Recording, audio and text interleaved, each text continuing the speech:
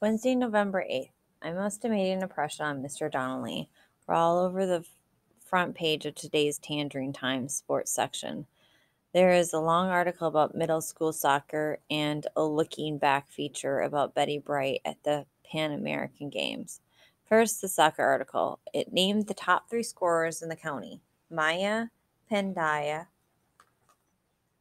of course, is number one with 22 goals. But check this out Gino DeLuca and Victor Guzman are tied for number two with 18 goals apiece. The article goes on to point out that Maya herself has scored more goals than most of the teams in the county.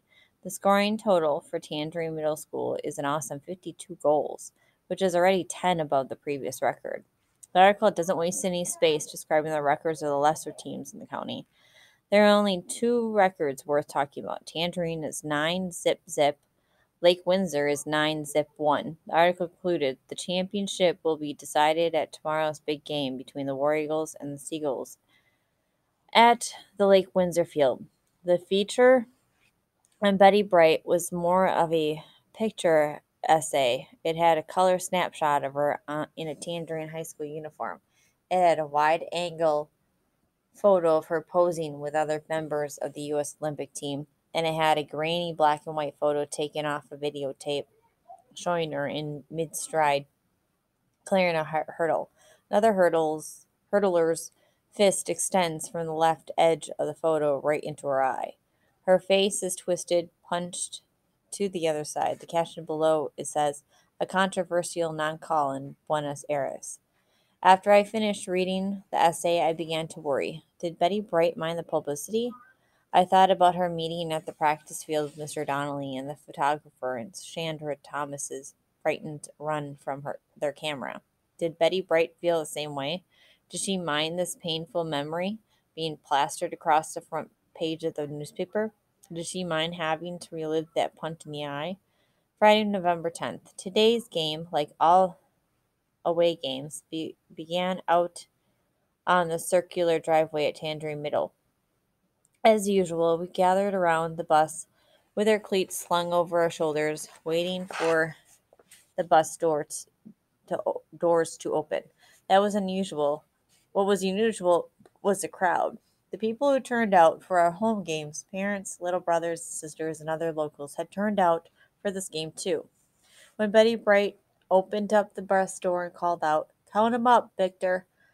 A caravan of at least 25 cars and trucks, including the green Ford pickup, fell into place behind us. Everyone was quiet, subdued as we rolled out of the parking lot. Nita was back, sitting with Maya, although she didn't look too good. Neither did Shandra, who was sitting right behind them. She had her forehead pressed against the window and her eyes closed. Was she not feeling well? Was she lost in thought? It was hard to tell.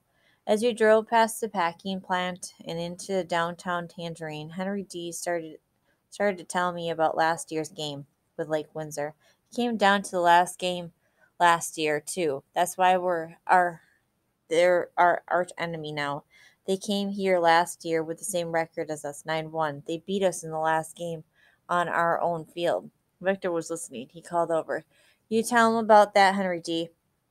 He raised his voice. Anybody else who doesn't remember needs to hear about this too.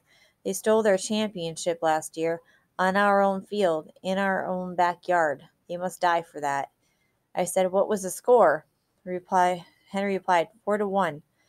But then Victor picked up the story. Ignacio was last year's champ captain, Dolly's brother Ignacio. So Ignacio scored a goal in the first half and were in control all the way we must have had 20 shots on goal to their own. Here he stopped and looked around accusingly. But in the second half, we let down. We got overconfident. That Gino dude started doing things on his own. He'd get the ball at midfield and take it all the way into the goal. Nobody stopped him. He scored three goals in the second half, and that Chinese dude got one. I figured he was talking about Tommy Acosta. I said, He's Philippine. Yeah, whatever. Whatever he is. He took the penalty kick after Ignacio finally flattened that Gino kid's butt. Victor's eyes narrowed as he recalled the moment. It was like a joke to him. I heard him tell that Chinese dude to t- talk take the kick because he was tired of scoring. Victor grew silent, reliving last year's game, getting angrier and angrier. We drove on, an old bus and 25 cars and trucks toward the developments west of town, toward the developments where I live. It was strange, very strange. I was driving past the sights that made up my ride to and from school every day, but today I looked at them through the hostile eyes of a war eagle. Victor had chilled out some, and he started commenting on the scenery.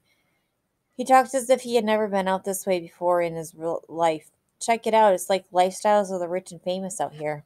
Others started to get into that as we caravan past the villas of Rosales. Check out that gate, man. What is that? That's gold. Look, they got gold on that stuff. That's beautiful, man. That looks like a movie.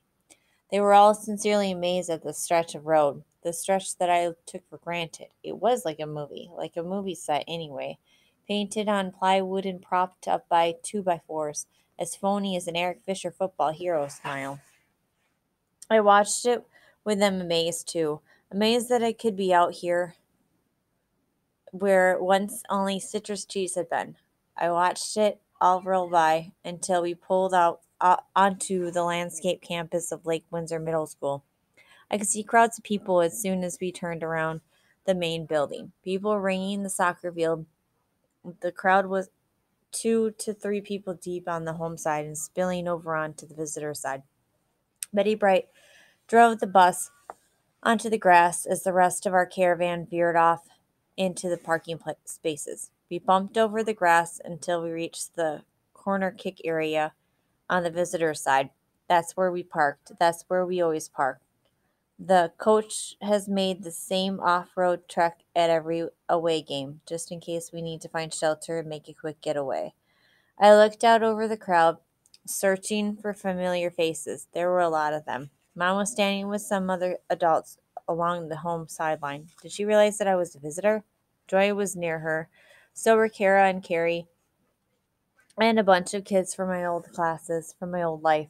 Mr. Donnelly and the long haired photographer were set up at midfield. Coach Walski, bald as ever, was out with his players on the field, leading them in calisthenics. They looked bigger than I remembered. Gino, Tommy, and all of those eighth grade guys seemed to have grown taller and stockier. They looked like a football team. I pulled on my cleats and tied them tightly. Listen up, the coach called. Let me break it down for you. There are three things that we can do today win, lose, or tie. If we win, the county title is ours. If we tie, the county title is ours. If we lose, the county title is theirs. Betty Bright stood up, all the way up to the ceiling of the bus. Let me tell you something else. We have outscored every team in the history of this county. And you are going to outscore this team today, okay? Victor, lead them out. She threw open the bus door. Victor strode to the front of the bus and jumped out, followed by his boys, and then the rest of us. We ran down the inside perimeter of the field. The crowd stared, but no one yelled or spit at us. Mom waved. Joey was busy looking the other way. Carrie was looking right at me. So was Mr. Donnelly, who gave me a big thumbs up sign. We turned and ran toward the visitors' side sideline and heard the loud cheers of our caravan riders. At midfield, Victor turned sharply and sprinted toward the center of the field as he had done so many times before. Betty Bright was already there. We packed around them and chanted our war cry. Who are we? War Eagles. Who are we? War Eagles. The coach's voice rose up angrily, letting us know that a response was not yet good enough. I said, Who are we?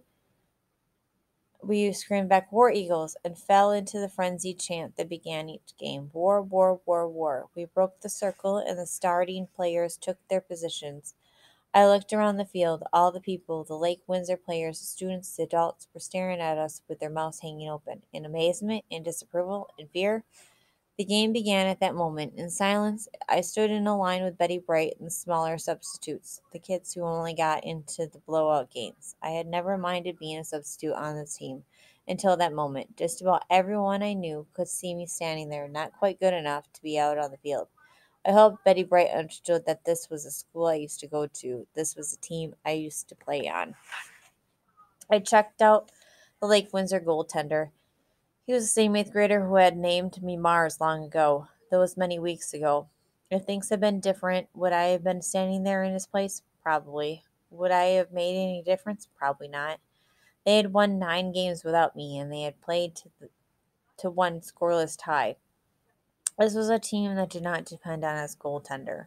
The action on the field started slowly. Both teams were sloppy, kicking the ball away. Victor seemed more intent on intimidating Gino than he was on getting the ball. Victor and Gino slid for the same ball near our sideline and got tangled up. The referee blew the whistle and called for a drop kick, but Victor still had one more thing to say. He got up to Gino's face and started jawing. Suddenly, one of those big fullbacks they have, I don't even know his name, ran up and grabbed Victor by the hair. He spun him around and punched him full on in the face. Victor went down in a heap, hitting the back of his head on the ground. The referee lunged at the Lake Windsor player and grabbed him. He yelled to Coach Walski, Out of the game! He's out of the game! Betty Bright took off toward Victor, and I was right behind her. She reached out and grabbed Tino, who was closing in on the Lake Windsor fullback with murder in his eyes. She pulled him with her to the spot where Victor was lying. His eyes were open, but he had a dazed look. She said, Victor, can you understand me? She, he said to her, I'm okay. I'm ready to go. He was strangely calm, like he didn't know or remember what had just happened. He sat up by quickly. Really, coach, I'm okay. I'm ready. Betty Bright said, No, I got to check you out on sideline for a while. She called to the referee, substitution. Then she turned to me, Paul Fisher, you're in. Victor struggled to his feet. She held on to him while she called the rest of us around and said, this is where it happens. This is where losers act like losers and winners act like winners. This is where they send some fool out there here to punch you in the face. If you retaliate, you're playing their game. If you get focused on soccer, you're playing your game. She walked Victor off the field and the action resumed.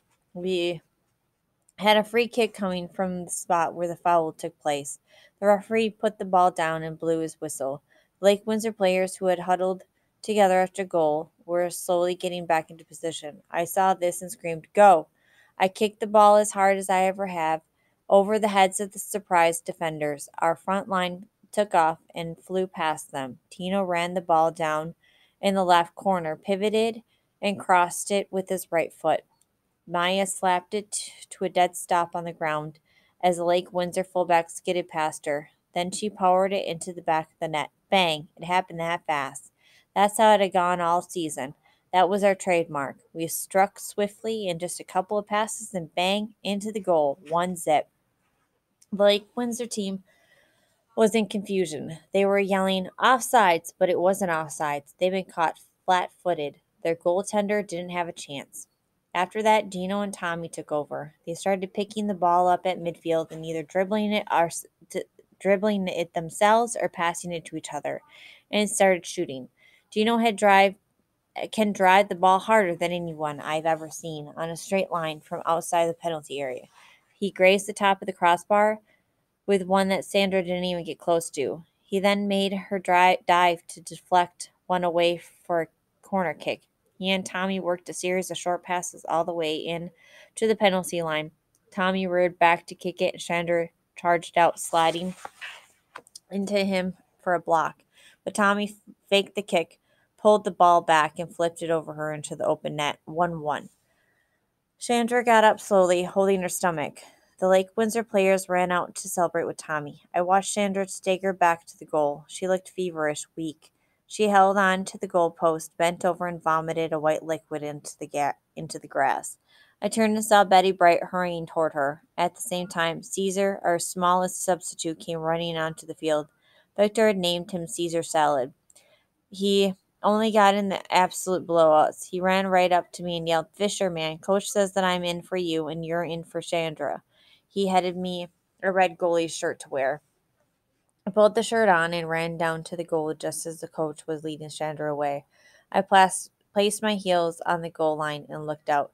The Lake Windsor players had lined up in the distance, ready to come at us again. I thought, wait, I'm not ready. I'm not ready. I was numb. I felt like throwing up too, but there was no time to think about it. Gino took the ball away from Henry D, like he wasn't even there, and came sprinting right up the middle of our defense. Dolly tried to slide into him, but he was too quick. He flicked the ball to the right, hurtled over her, and came at me one on one. I was flat back on my heels when he fired the shot, a bad shot, right at me. I moved my arms to grab it, but they never came together. The ball bounced off my face, kicked my goggles up, knocking my goggles up and knocking me back into the goal net. The ball bounced right back to Gino, who tapped it in. It was 2 1. Gino himself pulled me out of the net. Nettie, you all right, Mars? Yeah. Better get ready, Mars. I'm coming back. Yeah, yeah. His teammates mobbed him. Mine didn't even look at me. I took off my goggles and cleaned them. When I pulled back on, they were smeared with blood. I looked down and saw a dark red spray of blood on the goalie shirt. My nose was bleeding. I bent over, pinched the bridge of my nose, and blew out as much blood as I could. I twisted the shirt around and cleaned my goggles again on the back of it. Dolly called over. Fisherman, you all right?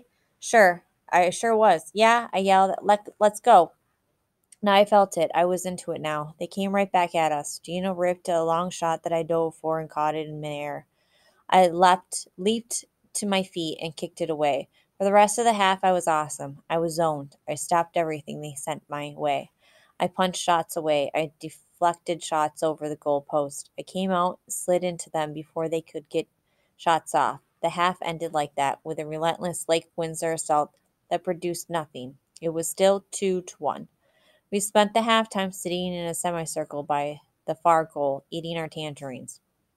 Victor would be going back in for the second half. Nita, who was struggling, would not. Suddenly, out of nowhere, Coach Walski was standing next to me with his clipboard.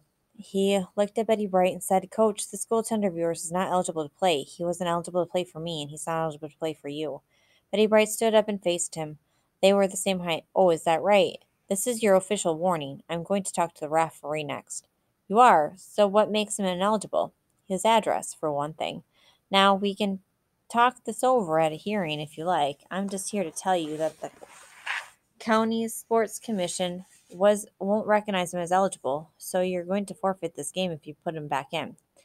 Is that how it is? Yes, I'm sorry, but that's how it is. Uh-huh. Did you see my other goaltender? Her mother had to drive her home because she's sick. Did you see her? She's Shandra Thomas. Coach Walski stared at her blankly as Betty Bright continued. Do you know where she lives, Coach? She lives in Dan- Tangerine with her mother and her fa- brother. Do you know who her brother is? He's Antoine Thomas, your football star at the high school here. Anton Antoine Thomas lives in Tangerine too. Now, are you sure you want to play that county eligibility game with me?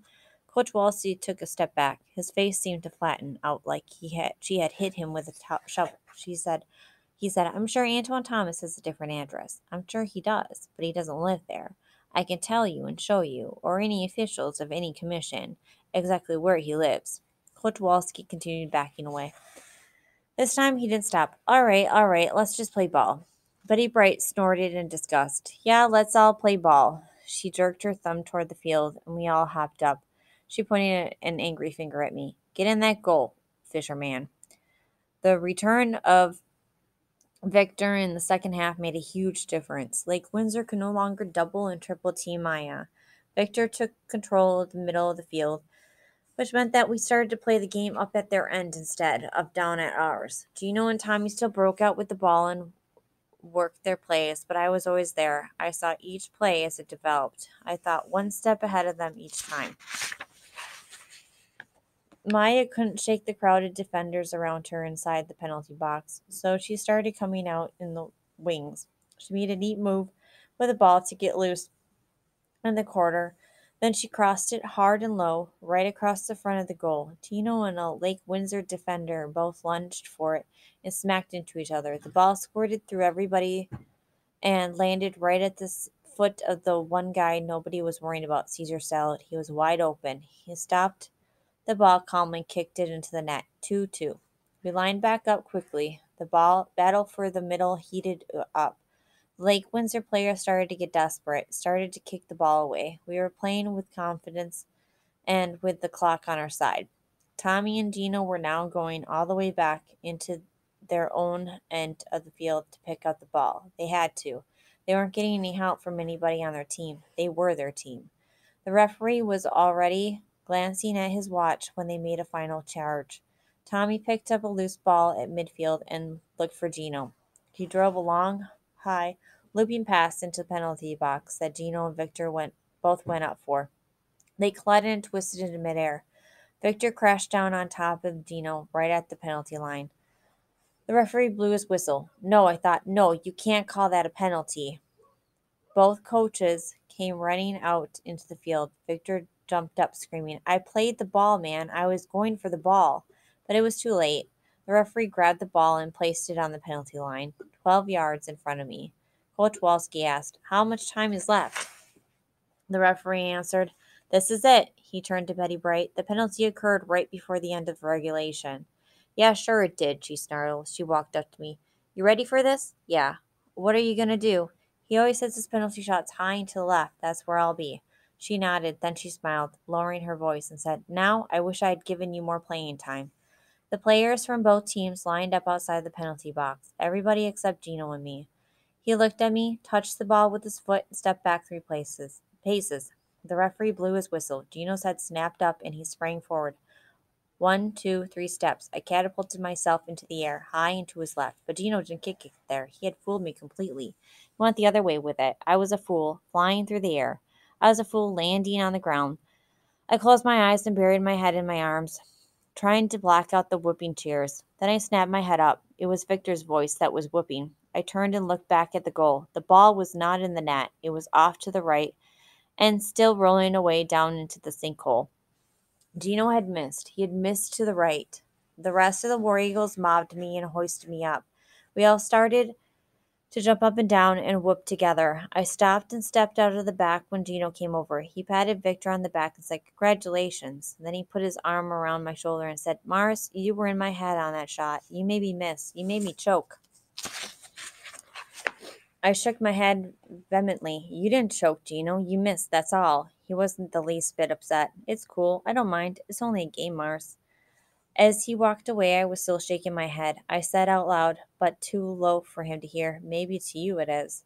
Spectators were out on the field now. Someone tapped my shoulder and said, Good game, Paul. I knew it was Carrie, but by the time I turned around, she was already walking away with Kara. Kara. Joey wasn't with them. Luis Cruz pounded me on the back and said, I didn't know you were a goalie. Great game, great game. I said, Thanks, I'm glad you think so. Then mom was standing in front of me. She said, Are you okay? Yeah. Now, what does this mean, Paul? Are both teams champions? No, we're the champions. We have the better record. We're 901 and they're 902. Oh, now do you want to ride home? No, I want to go back on the bus. That doesn't make sense, Paul. We'd have to follow the bus all the way over there and then drive you right back here. That's right, Mom. That's what you're going to have to do. She thought about it, then put her hands up in mock surrender. Okay, I give up. I worked my way back towards the bus, shaking hands with a couple more Lake Windsor players. Mr. Donnelly called out, Come over here, Paul. He and his photographer had set up a shot with Caesar and Maya. It was comical. Maya towered two feet over Caesar. Come on, we need you to balance out the shot. I shook my head. No, sir, it shouldn't be me. It should be Victor. Then let's get Victor too. Where is he? Mr. Donnelly located Victor and posed the four of us for the front page of tomorrow's sports section. When we all get back got back to the bus, the coach called out, How many, Victor? Fifteen, coach. Betty Bright closed the door and turned to us. She pointed at us and said, You're number one. You're second to none. Victor grabbed Caesar from behind and shook him he declared. His name is Julius Caesar now, the Emperor of Rome. We pulled out the lake out of the Lake Windsor campus, whooping and yelling with our ca- caravan of fans behind us. When we got to the downtown stretch of Tangerine, everybody in the row started honking horns and flashing lights. People came out of the shops along the main street. Cars pulled over and stopped to see what all the commotion was about. I'll never forget that ride home. When we got to Tangerine Middle, the bus doors opened and the War Eagles got out to find their separate rides, go to their separate ways. I was the last to get off. I was crying when I finally climbed down the stairs with my shoes over my shoulder. I crossed over to the white Volvo. Mom looked at me funny. Maybe she was wondering why I was crying. But all she had to say was, Well, that was quite a ride. I swallowed hard and managed to say, It sure was, Mom. It was quite a ride.